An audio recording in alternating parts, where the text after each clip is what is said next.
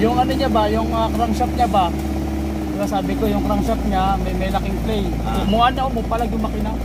O ibig sabihin yung con rod o main rod may clearance malaki.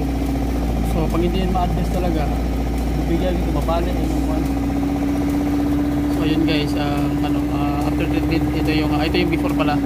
So after treatment tingnan natin after yung ano yun. Halos compression siya, mara, marami siyang problema.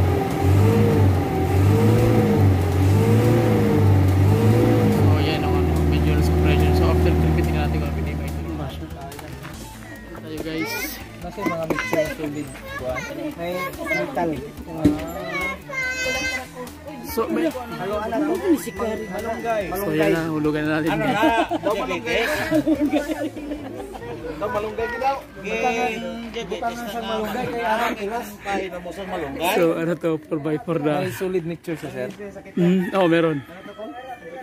Complicated. Isa lang sakit niya. oh. Complicated. Nasa, di ba 1 to yan pag mag-aircon. Pag hindi, 800 to 900 normal yon Idle. So pag mag-aircon siya, aangat siya ng 1 to. So 1 to, yan ang stage niya. Yung makina dapat may, galit na, may compression na malakas. So equal ang air ang 2, 3. Bago yung makina, hmm, mukha na. So sa atin, sa hado, kaya kung ibalik yan ng 1 to, hmm, wala na siya dito.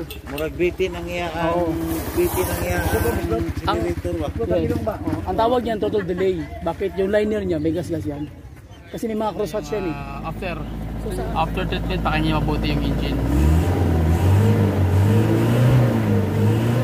So napakalakas niya na.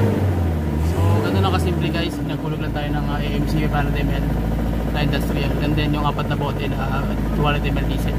So yun ang uh, lagi ko sinasabi sa inyo na 5 minutes lang tayo ng treatment. After that, gusto ko subject. So yun, maraming salamat. Bye-bye and God bless.